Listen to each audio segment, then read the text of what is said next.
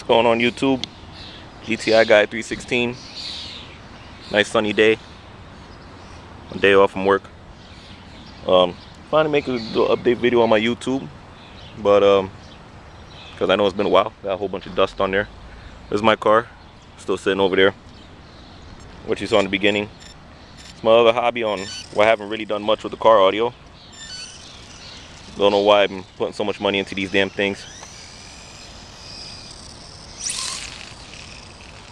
Trying to drive single-handed is kind of tough. If you want to see, that's how I'm doing it.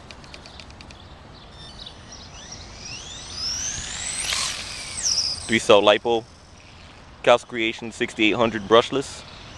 Uh, I think it's uh, I don't remember what ES um ESC is in here. I know it's a Castle Creation Micro, I believe. Um, got a little work done to it. Foam tires. I don't remember who made those. Uh, Hitec steering servo. Got the uh, drag link on it. Aluminum rear shock tower. Wing off the RC18B. Uh, she she moves. She moves. I used to do a little carpet racing with it, but you know now it's now it's retired. Now it's just drive it around and have fun. But anyway, I'm gonna have a, another video up with my car. Um, just to show a little bit what's going on with the audio on that one. And that'll be the next video coming up.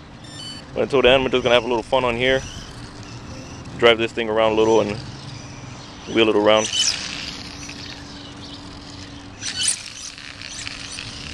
A little understeer.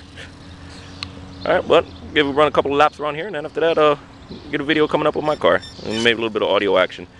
All right, guys, GTI guy signing out.